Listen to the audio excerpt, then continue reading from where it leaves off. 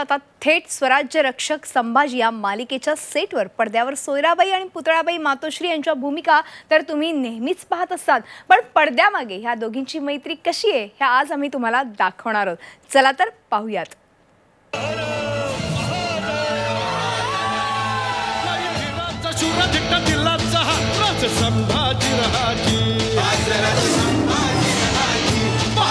Sambhaji.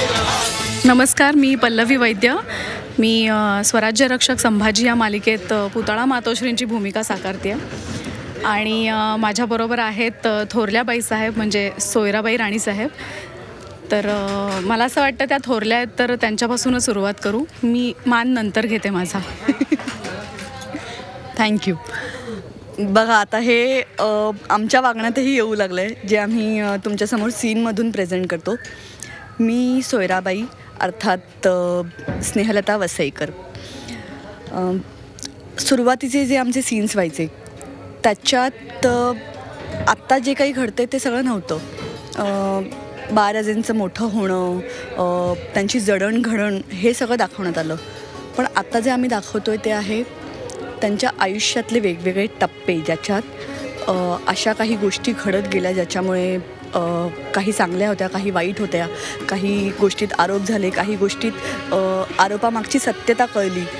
So हे सगळे scene करत असताना आम्हाला एक गोष्ट जाणवते ती म्हणजे आमच्यात खूप बदल झाला आहे जसं जेव्हा आम्ही सीन परफॉर्म करतो तेव्हा असं नाही होत की अच्छा सीन परफॉर्म करायचा आहे का? नाही. सीन नंतर खरंच काही वेळा चोक व्हायला होतं. जी रिॲक्शन आम्हाला ऑडियन्सकडून मिळते कि किती छान परफॉर्म केला तुम्ही.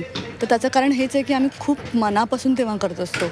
आणि जेव्हा ऑडियन्सकडून ही प्रतिक्रिया मिळते की तुम्ही बाळराजेंबद्दल जे म्हणालात ते खरंच पटलं आम्हाला. तुमच्या मुलाबद्दल तुमची जी आपुलकी आहे जे प्रेम आहे आणि ते जास्त शंभूराजांना मिळतं आहे माझ्या बाळाला मिळत नाही आहे हेही तुम्ही छान दाखवलं तुम्ही छत्रपती आहेत ते या गोष्टीचं भान ठेवलं हे आम्ही इथे या गोष्टींचं भान ठेवून हे करतच असतो. पण जास्त आनंद होतो जेव्हा ऑडियन्सलाही त्या गोष्टी अचूक कळतात.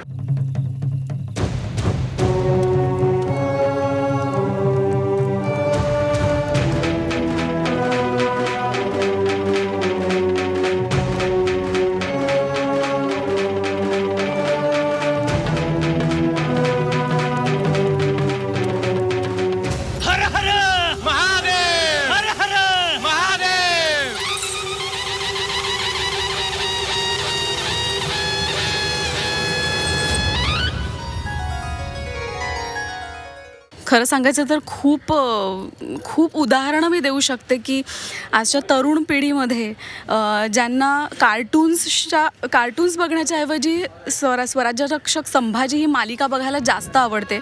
आणि डोरेमॉन किंवा श- शिजुका आणि ही जी सगळी नावं आहेत त्याच्याऐवजी त्यांच्या तोंडात बाळराजे शंभूराजे सोयरा राणीसाहेब मातोश्री ही नावं आहेत त्यांच्या तोंडात की हे बघितल्यानंतर ना खूप बरं वाटतं की आजच्या तरुण पिढीला खरं तर याची खूप गरज आहे. इतिहास जाणून घ्यायची आणि खरा इतिहास जाणून घ्यायची. आणि ह्या मालिकेद्वारे तो इतिहास लोकांपर्यंत पोहोचतो आहे याचा आम्हालाही खूप आनंद आहे. एक उदाहरण सांगायचं झालं तर माझा मुलगा लहान आहे. त्याच्या शाळेतलीच एक मुलगी आहे. ब्रिलियंट मुलगी आहे. अत्यंत हुशार आहे. हुशार मुलांना तर अट्रॅक्शन असतंच. आणि बाकीच्या ज्या जी मुलं असतात ना ते सुद्धा हल्ली तलवारबाजी करायची आम्हाला ढाल तलवार म्हणजे आमचा क्रिएटिव्ह आमचा मित्र सचिन गद्रे याचा मुलगा सुद्धा सचिन तलवार घेऊन सगळीकडे संभाजी सिरियल चालू झाली की तो नाचत असतो. म्हणजे हे वेड वेड लागलंय. लहान मुलांना आता वेड लागलंय.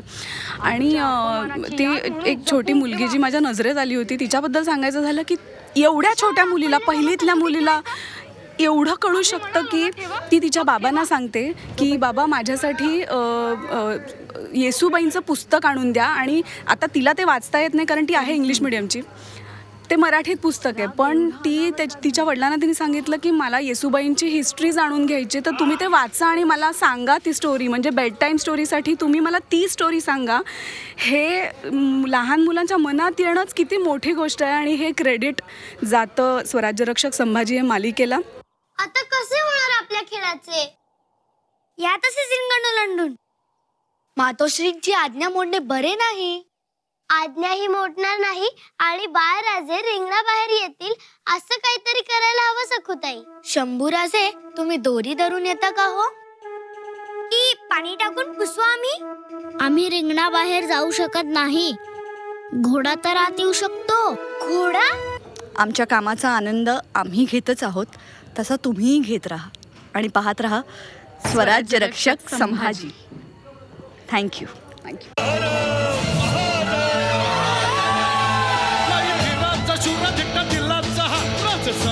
Sambhaji राहाजी राज संभाजी झी चोवीस तास. रहा एक पाऊल पुढे.